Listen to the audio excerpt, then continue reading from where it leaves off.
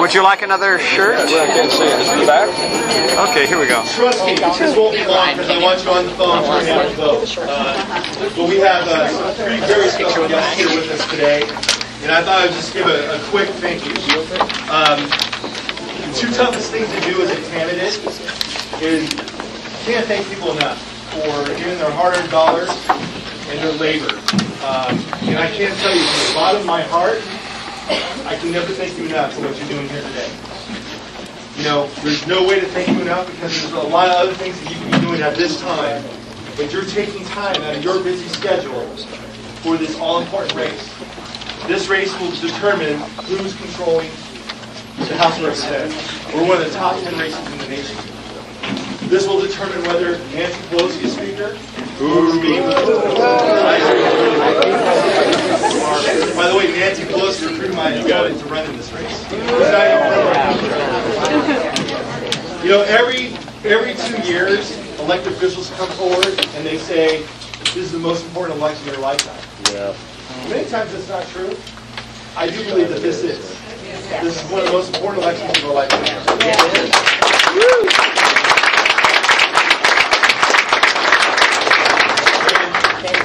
Is what's at stake in the next 13 days. I get asked multiple times and it, it, throughout the campaign uh, cycle, why are you doing this, Tony? Uh, they're pounding you in the, in mailbox and the TV. Why do you do this? Very simple. I learned from my father, who's my hero, who served in Korea and Vietnam, fought for the very liberties and freedoms we enjoy today. And after he got injured in Vietnam, became a drill sergeant at Fort Ord Army Base. And I learned from my dad that it's up to every generation to leave your city, state, and nation in a better spot than what you found. And I have two beautiful children. My little girl Ruby just turned seven last week. And my boy, we call him Tiny Tony. He's five. And I believe this is the first time in American history where it's in question, are we going to leave a better future for our kids and our grandkids? That's what's at stake in the next 13 days.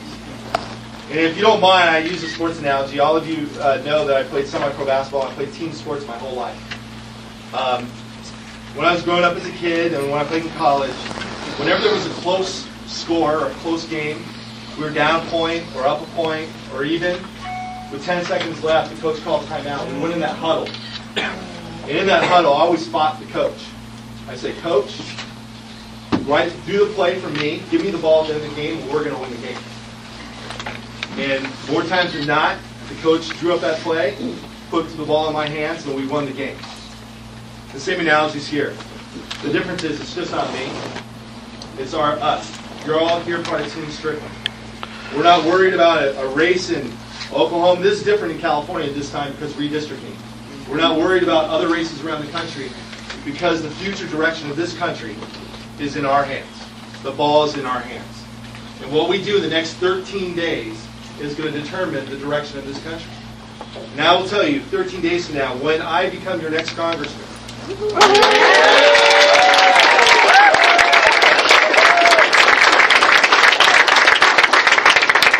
January, when I sit, work with these three wonderful leaders and take that oath of office, I hope all of you get goosebumps to say, I had a part to play in turning around this country for the next generation, to make sure my kids and your kids have that same opportunity that I had growing up here in Ventura County.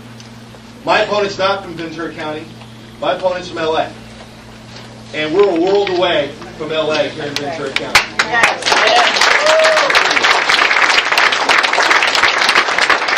I don't believe you can represent a community if you've never lived in the community. My opponent's never lived a day in her life in Ventura County. You can't represent a community if you're not from the community. I lived in this community. I grew up in this community. I've lived in this community for over 40 years. My kids are going to grow up in this community. And I'll promise you this, no one will fight harder than me to serve this community because my concerns are the same as my neighbor's concerns. And I work well, as you all know. Uh, I have a proven track record in the state legislature. And I'm very humbled to say the community I grew up in, I've represented in the state senate and the state assembly. And I can't tell you how humbled I will be to be your next congressman to represent your voice in Washington, D.C. We love you, Tony. Thank you.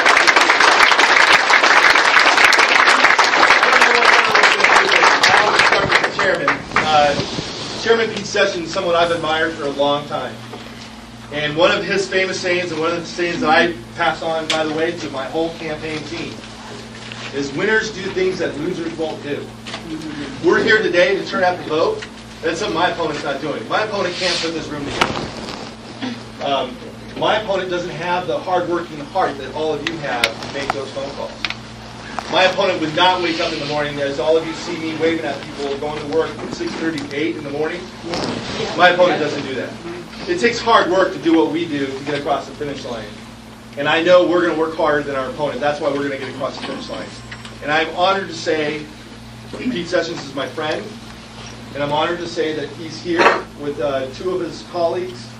But I will first introduce uh, my good friend, and also we have a, another thing in common. We're both Dallas Cowboy fans.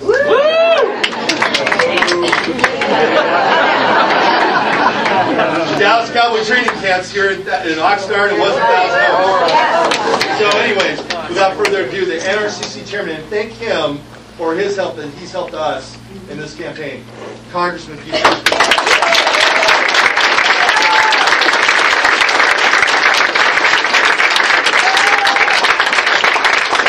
Couldn't wait to get to sunny California. I tell you what, Tony's going to learn a lot of these sayings, and here's another one of my favorites. The successful rain dance has a lot to do with timing. Are you guys ready to win? Let me tell you we are excited about being with the great Tony Strickland. Tony, I'm not a basketball guy, I'm a football guy and a track guy, but I understand the concept of what winners do things that losers won't do. And that is giving the guy that can get it done, or the woman, or whoever it is, the person who can get things done, that's what I am about. I'm about achieving great things for our country. Why are you here and why am I here? We're here because we're worried. We're worried sick about our country, the direction that we're going, and we saw firsthand what happened when the Democrats had everything. Taxing, spending, why, they even believe in putting 2,400 page bills that you don't even read and yet you vote on. Here's why you're here. You believe that America can have a brighter and better future. You believe that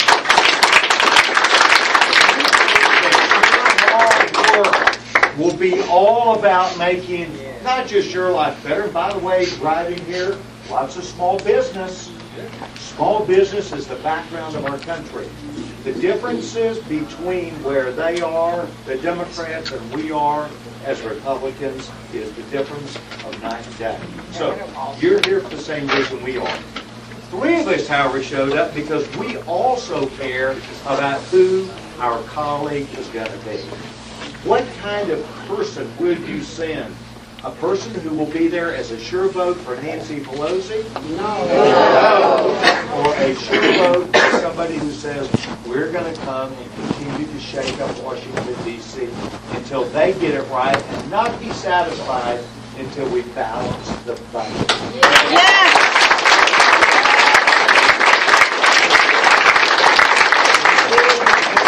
people back in charge instead of government, and perhaps more importantly, to grow our country because it's too early to throw in the towel and say it's done. We have a GDP growth rate of 1.3%. That means that it will take us 55 years to double the size of our economy, while some of our competitors, China and India, will do it in 12 or 13 years. Trust me.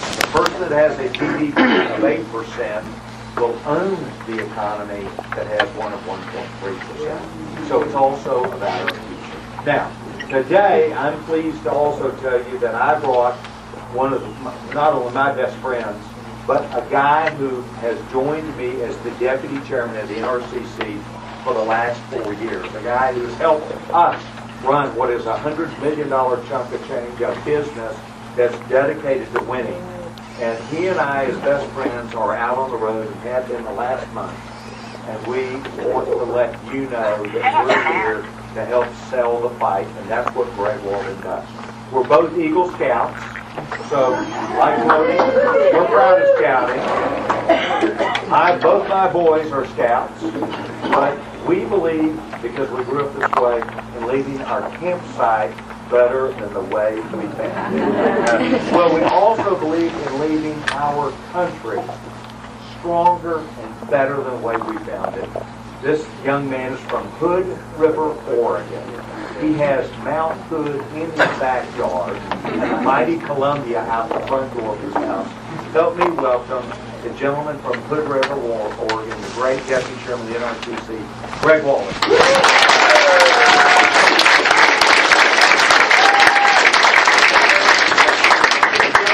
For being out. Thanks for making the phone calls. Thanks for reaching out to voters. As Pete has said, elections are won by those that show up. Let's not wake up two weeks from now and go, darn, we missed by a handful of votes. My father ran for the legislature in 1970 in Oregon, got elected. Got reelected in 72, and then this guy ran against him in 74, and he won by 100 votes. Same guy ran in 76 and beat him by 34. Dad tried to come back in 78, lost by about 100 votes. Three elections decided by 18 people on average. I hear footsteps every election. I take no votes for granted, neither of you and I know you're not, why you're here. It's about getting people to turn out to vote for the right person. As I stand here, I look back, I thought, this is the state that gave America Ronald Reagan. Ronald Reagan. And Ronald Reagan gave us as Americans a strong country with renewed spirit, a great economy. He believed in peace through strength. Those are the values that really put us, think where we would have gone if we made that other choice, another four years of the guy from Georgia. Think, you know, when, when President Obama whispered to the Russian leader, tell Putin, I'll have a little more flexibility. I instantly thought about Ronald Reagan walking out of the talks in Iceland yeah. and saying, I will not compromise America's security. To heck with it, I'm walking out. And he did. Remember, Nancy, Mrs. Reagan was quoted saying, when I saw Ronnie's face, I realized something had gone terribly wrong. what had gone wrong is he wasn't going to give up on his view of how to protect America from the aggressor, the Soviet Union. A difference in that. We need strong people who understand hard work, who will go help us clean up Washington and turn it around. And Tony Strickland. Yes.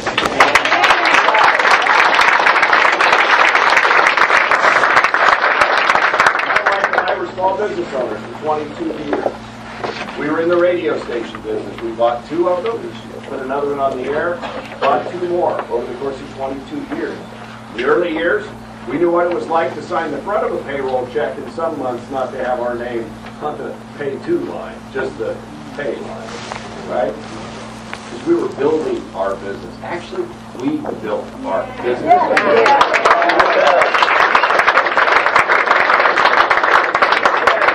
Drive through American communities, the jobs small businesses. I know what it's like to spend all night at the base of a broadcast tower in January in a foot of snow with an engineer trying to replace uh, the transmission line that had shorted out. And then my wife had to do it the next night because I couldn't be there because I was Victoria Leader out. I had to leave, so she did it all night. You know, this is what you do in small business. You make sacrifices. You take your vision, your ideas, and grow it up. And we built up our business. And after 22 years, we sold it. You know, this is what America is about, giving that opportunity. I'll tell you toward the end, we often look back and thought if we'd known in the beginning what we knew in the end, maybe we wouldn't have done it. We, you know, that's the spirit of American entrepreneurship too. You got an idea, you think if you just put a little more effort into it, a little, work a little harder. And we should reward that, not demonize that. We should have a, a president that will lead us all together forward to put America back on front and in, in full control on our, you know, and we can have that with Mitt Romney and our friend Paul Ryan, who's standing there in the back.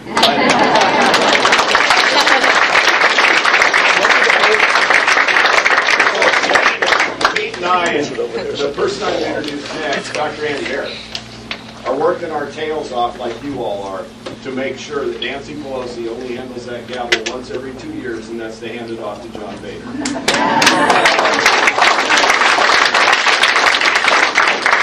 Dr. Harris uh, comes from the eastern shore of Maryland. I come from Oregon. He comes from Maryland. We got this thing covered coast to coast. Pete's from Texas. We're just not going to go. I wish she was from Oregon. Or... Dr. Harris ran for the House in uh, 2008, won his primary, but didn't win the general. But he was undeterred. And then he saw what happened with Obamacare and really got inspired. Won his primary in 2010 won his general election in 2010.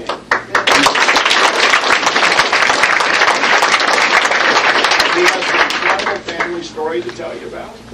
He has an incredible insight into healthcare and medicine that he's going to talk about.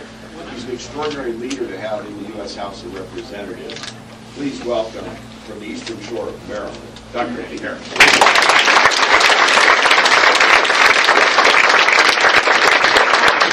pleasure to be here and see so many folks uh, turning out.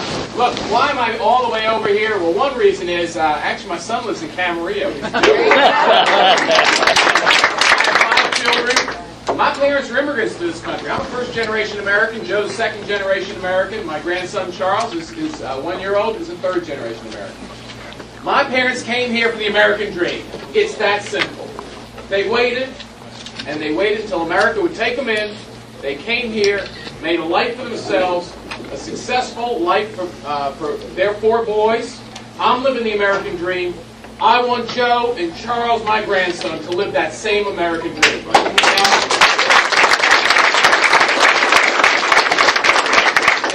You got two choices. The team that Tony's running against doesn't believe in the same American dream. It's that simple.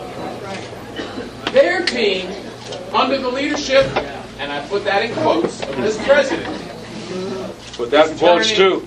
is destroying the American dream. We've simply got to change teams in the presidency, and we got to send us reinforcements like Tony to the House of Representatives. So we can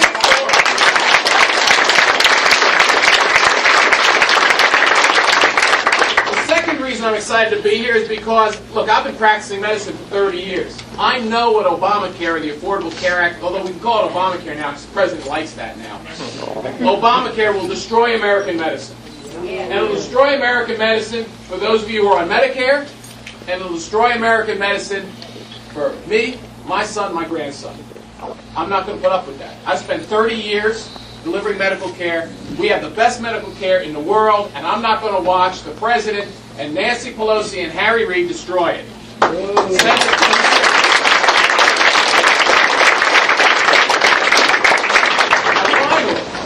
As the deputy chair said, I've lost the race and I've won a race. I know what it's going to take to win a race in this kind of district. Because when I was in the state senate, I ran a district that had 30% more Democrats than Republicans. And I won. Twice. I'll tell you, those of you sitting here, stand up here, is a finger check on November 7th. If you don't have a callus on the tip of your finger, your. You didn't do enough. If your knuckles aren't calloused from knocking on doors, you didn't do enough. If your hands aren't calloused from putting those long signs up, you didn't do enough. We did 60,000 phone calls on the last weekend out of my campaign headquarters. 60,000 phone calls. I'm going to challenge you all to do that. Because if you do that, and you knock on the doors, and you put up those signs, Tony Strickland will be the next congressman from Ventura.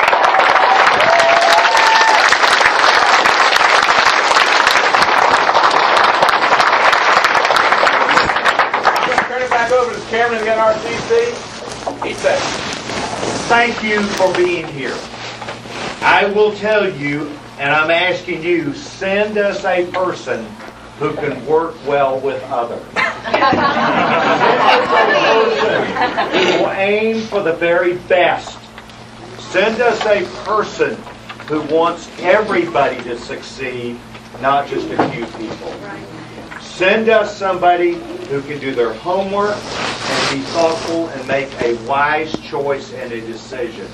Send us somebody that understands and respect, respects not just small business, individuals who are struggling in their life and want to make their life better and who respects the American dream.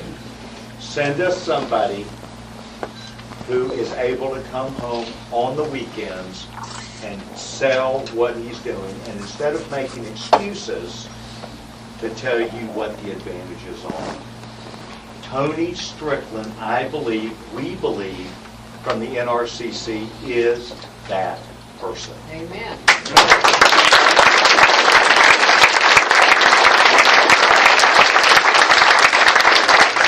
Tony can make the tough decisions in the future never apologize, never forget like that. My friends, every Democrat across this country is trying to say, it's not really that bad. Oh, yes, it is, Mr. President. And the last point that I'd make is this. It does matter when men and women, our children or young adults, or any of us, go to the grocery store and, and look at food prices go up, look at gasoline prices go up, look at all Get sorts of of things Federal happening. Reserve. And our median income is four thousand dollars per family down across this country. Our future needs to be important to this country also, not just what, the way Barack Obama talks about it. So, if you send us Tony Strickland, he will be a part of a majority team that will get it done for America. Thank you for being here.